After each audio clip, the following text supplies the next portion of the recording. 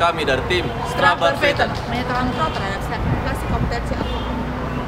Maka kami sepakat untuk advokat dan profesinya perlu adanya sertifikasi kompetensi. Hanya saja hal tersebut harus mengacu pada undang-undang advokat itu sendiri, yaitu pada pasal 3 ayat 2, bukan atas dasar peraturan yang dibuat oleh Menteri Tenaga Kerja.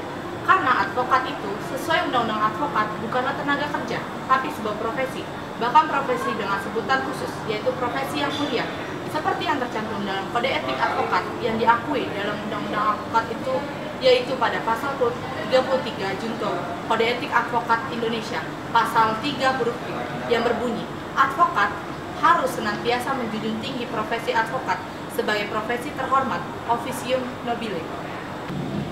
Kami mendukung sertifikasi kompetensi advokat dalam bidang hukum tertentu karena sesungguhnya hal ini telah diamankan dalam pasal 3 ayat 2 Undang-Undang Nomor 18 Tahun 2003 tentang advokat sebagaimana yang berbunyi advokat yang telah diangkat berdasarkan persyaratan yang dimaksud pada ayat 1 dapat menjalankan praktiknya dengan mengkhususkan diri pada bidang tertentu sesuai dengan persyaratan yang ditentukan oleh peraturan perundang-undangan.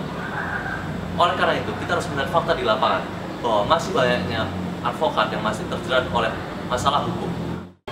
Maka dari itu, perlu ditingkatkan profesionalisme pada bidang hukum tertentu. Contohnya saat ini, jika seseorang ingin menjadi konsultan hukum kekayaan intelektual, kurator, maupun pasar modal, mereka harus mengikuti pendidikan dan sertifikasi yang diselenggarakan oleh instansi hukum yang terkait.